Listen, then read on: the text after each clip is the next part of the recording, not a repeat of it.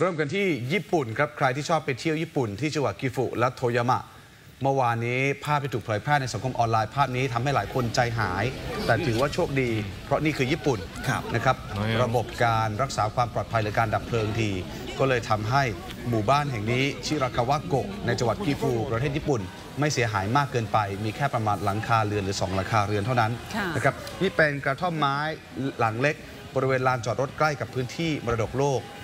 ซึ่งนักท่องเที่ยวที่กำลังเดินไปเดินมาเพื่อชมความงามของหมู่บ้านแห่งนี้เพราะนี่ถือว่าเป็นสถานที่ท่องเที่ยวสำคัญของญี่ปุ่นเลยค่ะใครไปไม่ว่าจะหน้านี้หรือว่าหน้าที่หิมะตกก็ตามสวยมากนะครับเห็นเหตุการณ์นี้ก็ตกใจก็ถ่ายคลิปกันมา เจ้าหน้าที่ก็เร่งควบคุมเพลิงเพราะว่ากลัวว่ามันจะลุกลามใช้เวลาประมาณแค่ครึ่งชั่วโมงเท่านั้น เพลิงก็สงบลง ไม่มีรายงานผู้ได้รับบาดเจ็บนะครับ ความเสียหายก็เกิดขึ้นแค่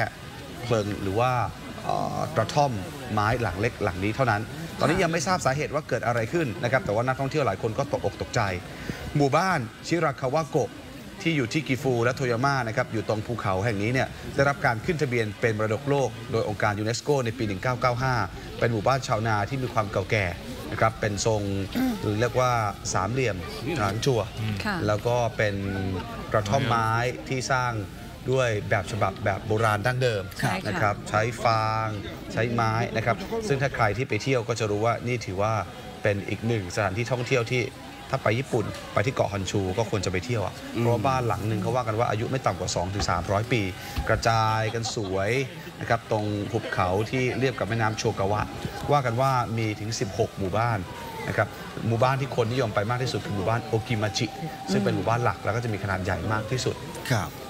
คนไทยไปกันเยอะ ชื่ออะไรว่าโกะเนี่ยผมเคยไปครั้งหนึ่งค่ะก็สวยจริง ๆ ตอนผมไปนี่หิมะตกครับอืมคือจริงๆสำหรับครั้งนี้เนี่ยถือว่าความเสียหายมีไม่มาก แต่ว่าอย่างหนึ่งที่ทำให้ชาวญี่ปุ่นเนี่ยอาจจะรู้สึกสะเทือนใจไปบ้างเพราะว่ามันเป็นปรากฏการณ์ที่เกิดขึ้นครั้งที่สองต่อเนื่องกันหลังจากที่ก่อนหน้านี้ก็มีมรดกโลกอีกแห่งหนึ่งที่เพิ่งวอดไป อันนั้นอันนั้นเสียหายแบบเละเลยอืมอันนั้นเพราะว่าเป็นอาคารใหญ่ที่ต่โออเนื่กิองนาวาครับนะครับแต่ว่าเสียดายเราไม่มีภาพมาให้ดูว่าจริง ๆ ที่ชิริเขาชิรากาวะโกะเนี่ยมันไม่ไม่วอดไม่ลุกวายลามเพราะ เพราะว่ามันมีระบบการดับเพลิงที่ดีมากใช่มันจะเปิดแล้วก็ฉีดน้ำออกมากันเต็มหมู่บ้านเลยใช่คือแต่ละอาคารเขาจะอยู่ห่างๆห่างๆกันกระจายตัวกัน แล้วเขาจะมีเหมือนเป็นสปริงเกอร์ใช่ไหมอืมฟิงฟิงฟิยิงงอย่างกับน้ำพุออกมารอบหมู่บ้านเลยต้องบอกแบบนั้นดีดีดีนะครับค่ะ อะ มาดูอีกหนึ่งเรื่องนะฮะ เป็นเรื่องราวของต่างประเทศ แต่ว่าเกี่ยวเนื่องกับพวกเราคนไทย เพราะว่าเป็นอีกหนึ่งความสำเร็จ แล้วก็ความภาคภูมิใจของคนไทย กับการประกวด Cake International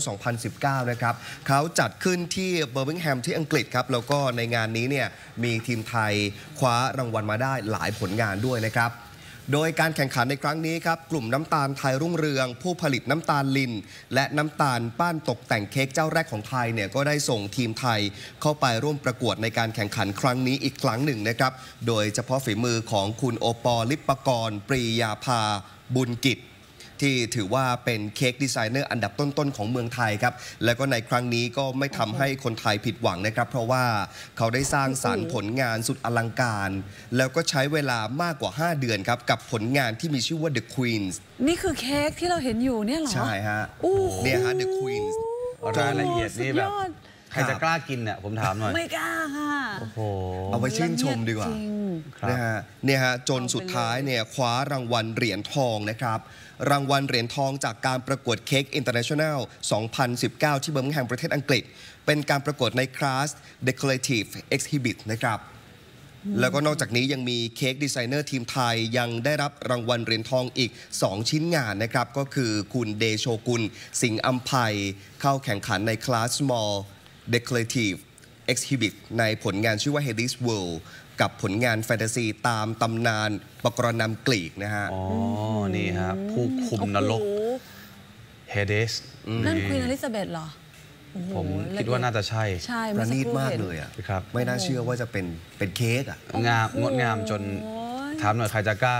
กิน เอาไว้โชว์เออครับชมแต่อีกมันท่าก็นหนึ่มีงอายุไงมันก็มีอายุของมันในใช่เค้กเขาจะมีใช่อีกท่านหนึ่งนะครับที่คว้ารางวัลมาได้เช่นเดียวกัน คุณวริศจันทร์วิชานุวงศ์นะครับ แข่งขันในคลาส Decorative Exhibit กับผลงานพระพลาเทวาลัย ศิลปะลายปั้นที่งดงามอย่างไทยโอ้โหอันนี้ต้องยอมสามจริงๆรางวัลเหรียญทองฮ ค่ะ คนไทยนี่เรื่องศิลปะก็เก่งไม่แพ้ชาติใดในโลกจเก่ริง